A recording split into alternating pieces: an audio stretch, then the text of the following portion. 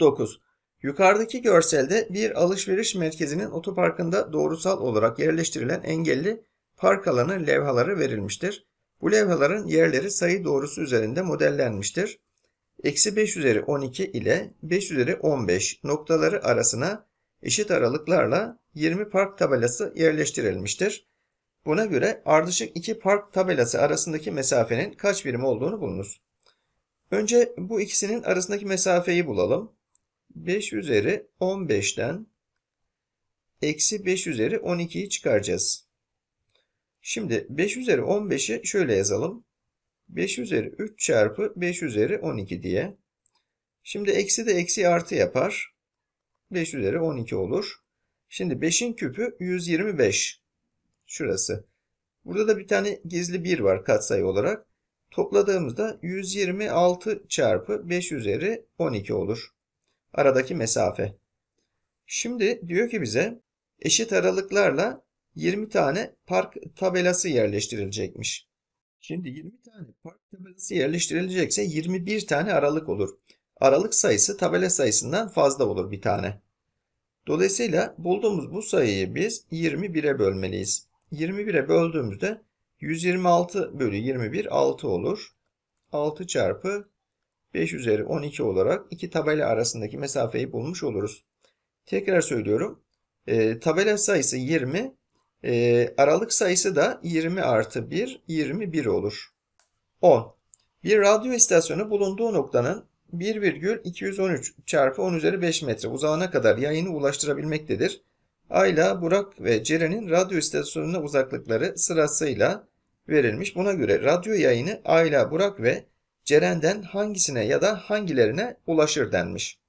Şimdi burada sıralama yapacağız. Sıralama yapabilmemiz için e, bu 10'un kuvvetlerini eşitlememiz lazım. Şimdi bu 10 üzeri 5. Bu da 10 üzeri 5. Şimdi şunu 10 üzeri 5 yapabilmemiz için 0,684 çarpı 10 üzeri 5 olmalıdır. E, şu da arkadaşlar 1,1 çarpı 10 üzeri 5 olmalıdır. Virgül sağa giderse üs azalır, virgül sola giderse üs artar. Şimdi e, 1,213 çarpı 10 üzeri 5. Şimdi aylanın uzaklığı 0,684. Şimdi bu sayı 1,213'ten e, küçük olduğu için aylaya ulaşır.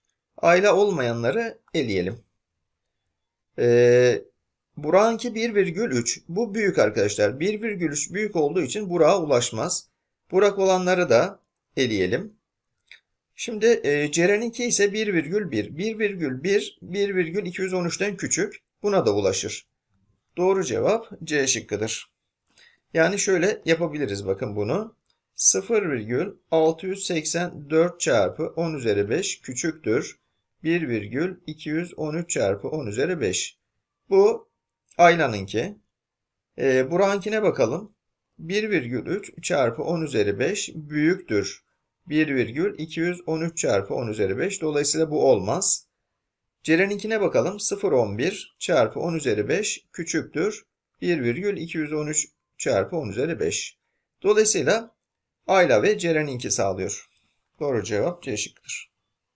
Aşağıda bir önerme ve bu önermenin ispatı gösterilmiştir. Önerme x, y, z ve t reel sayı olmak üzere x y'den küçük, z t'den küçük ise x eksi t y eksi z'den küçük olur denmiş. Ee, hipotez x, y, z ve t reel sayı olmak üzere x y'den z de t'den küçük olsun. Hüküm x eksi t y eksi z'den küçük olur. İspatın adımları aşağıdaki gibidir. Birinci adım x eksi t küçüktür y eksi z olduğu gösterilir. A küçük eşittir B ise A artı C küçük eşittir B artı C. Yani eşitsizliğin her iki tarafına aynı sayı eklenmiş. Dolayısıyla x küçük y eşitsizliğinden x eksi t küçüktür y eksi t eşitsizliği elde edilir denmiş. Evet bu doğru. Burada bir sakınca yok. İkinci adım. Eksi t küçüktür. Eksi z olduğu gösterilir. E, a küçük eşittir b ve 0 büyük eşittir c ise a çarpı c büyük eşittir b çarpı c. Yani eşitsizlik yön değiştiriyor burada. E, z eksi t eşitsizliğinde eksi t küçük eşittir eksi z eşitsizliği elde edilir denmiş. Tamam burada da bir sıkıntı yok. Üçüncü adım y eksi t küçüktür y eksi z olduğu gösterilir. a küçük eşittir b ve ise a artı c küçük eşittir b artı c sıralama özelliği yardımıyla eksi t küçüktür eksi z eşitsizliğinden y eksi z küçüktür y eksi t eşitsizliği elde edilir denir. Bakın burada eşitsizlik yön değiştirmiş. Şuraya dikkat edin. Bakın t z'den küçükken z t'den küçük olmuş. Burada bir hata var. Dördüncü adım x eksi t küçüktür y eksi z olduğu gösterilir. Bir ve üçüncü adımda elde edilen eşitsizliklerden x eksi t küçüktür y eksi t eşitsizliği elde edilir. Hükmü beşinci adım hükmü ulaşılır denmiş. Buna göre ispata ait adımların hangisinde ilk defa hata yapılmıştır? Evet ilk defa üçüncü adımda hata yapıldığını tespit ettik. Doğru cevap C şıkkıdır. 12. Tabure satan bir mağazada satışa sunulan iki farklı tabure çeşidi görsel 1 ve görsel 2'de verilmiştir. Evet. Mağazası için bu taburelerden toplu şekilde satın alan Merve Hanım tabureleri depoya yerleştirirken aynı renk tabureleri üst üste ve tek sıra halinde dizmiştir. Tabureler ile ilgili aşağıdaki bilgiler verilmiştir. Üst üste dizilen pembe ve mavi taburelerin yerden yükseklikleri eşittir. Pembe taburelerin yerden yüksekliği ve üst üste konan iki pembe taburenin üst yüzeyi arasındaki mesafe görsel 1'de verilmiştir. Mavi taburelerin yerden yüksekliği ve üst üste konan iki mavi taburenin üst yüzeylerin arasındaki mesafe görsel 2'de verilmiştir. Üst üste duran taburelerin her birinin arasındaki mesafeler eşittir. Bu depoda üst üste en fazla 20 tane pembe tabure dizilebildiğine göre mavi taburelerden en çok kaç tanesi üst üste dizilebilir denmiş. Şimdi şu sayıları düzenleyelim arkadaşlar bir. 6. dereceden kök 256. Şimdi bu 256 2'nin 8. kuvvetidir. Bu da şöyle olur. 6 ile 8'i sadeleştirdiğimizde 3. dereceden 2 üzeri 4 olur. Bu da şimdi 2'nin 4. kuvveti arkadaşlar 8 çarpı 2'den 8 dışarı 2 diye çıkar. Bu 2 çarpı 3. dereceden kök 2 oldu bakın. Şunu bulmuş olduk. 2 çarpı 3. dereceden kök 2. Şimdi bu pembelerden arkadaşlar toplam en fazla 20 tane dizilebiliyormuş. Bir tanesi burada olacak en altta 19 tanesi yukarıda olacak. Şimdi bunların aralıkları şuydu. O zaman bir tane altta bu şu demek. 2 tane 3. dereceden kök 2. Bu bir tanesi. 19 tane de üst üste konacak yukarıda. Bunların aralıkları 3. dereceden kök 2 idi. O zaman toplamda 19 tane 3. dereceden kök 2 olur. Bu ikisini topladığımızda da pembelerin yüksekliği 21 çarpı 3. dereceden kök 2 olacak. Şimdi mavilerin toplam yüksekliği de buna eşit olacak. Şimdi mavilerin en alttaki bakın 3 3. dereceden kök 54 e, var. Bunu düzenleyelim. 3. dereceden 27 çarpı 2 diyelim. 27 3'ün küpü ya dışarı 3 olarak çıkar. 3 tane 3. dereceden kök 2 oldu. Bakın bu tabandaki. Bu bir tanesi. Şimdi şu bulduğumuz 21 çarpı 3. dereceden kök 2 vardı ya. Buradan şunu çıkaralım. 3 tane 3. dereceden kök 2. Geriye ne kalır?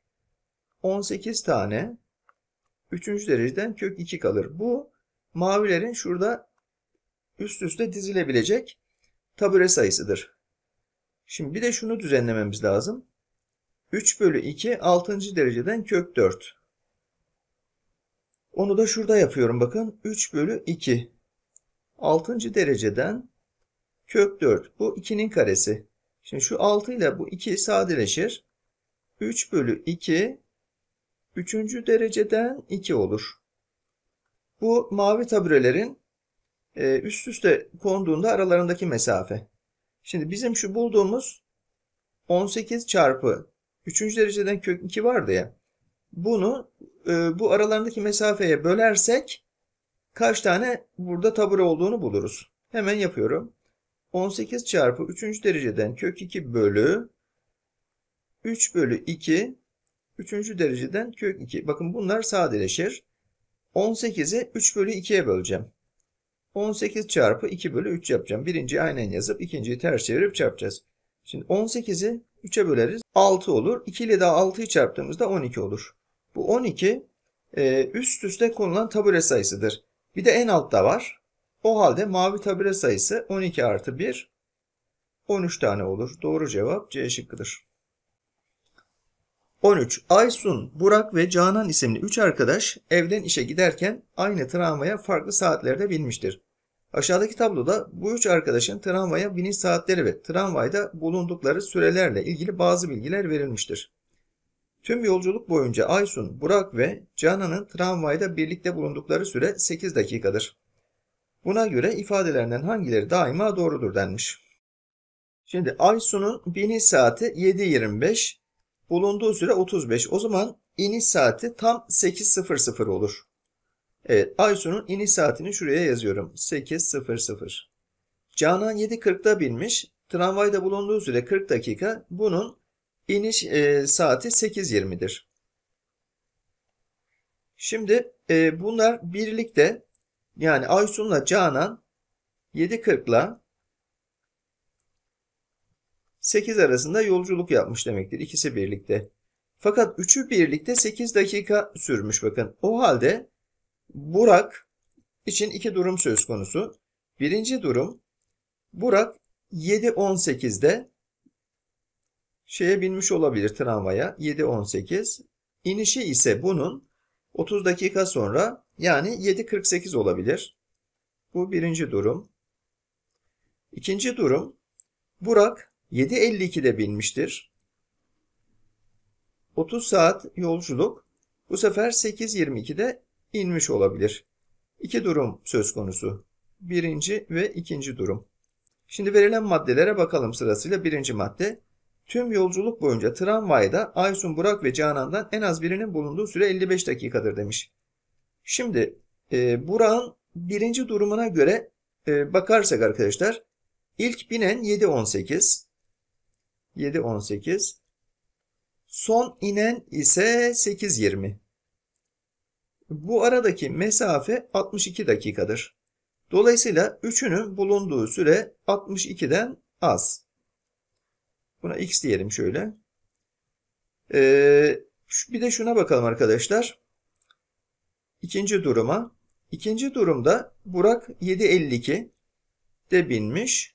8.22 de inmiş diye. Şimdi Burak'ın ikinci durumuna göre baktığımızda ilk binen Aysun 7.25 Son inen Burak oluyor 8.22. Aradaki fark ise 57 oluyor. Burada üçünün bir arada geçirdiği zaman en az 57, en çok 62. Dolayısıyla 55 dakika demiş ya bu yanlış. Bakın birinci madde gitti. İkinci maddeye bakalım. Tüm yolculuk boyunca tramvayda Aysun, Burak ve Canan'dan yalnız ikisinin birlikte bulunduğu süre 27 dakika ise tramvaydan son inen Canan'dır. Şimdi burada tersten gidelim. Şimdi Canan son inen ise eğer, bakın Canan buydu. O zaman Burak'ın birinci durumuna bakmamız lazım. Yani 7.18, 7.48 e, aralığına bakmamız lazım Burak için. Şimdi burada yalnız ikisinin birlikte bulunduğu süre diyor.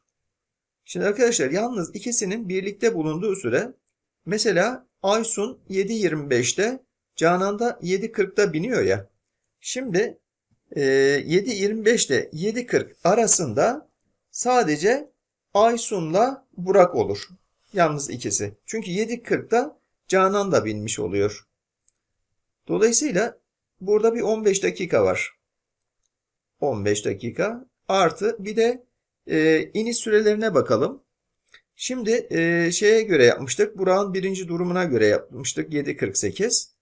Şimdi Burak 7.48'de iniyor. 7.48'den 8'e kadar Aysun'la Canan 12 dakika birlikte gidiyorlar.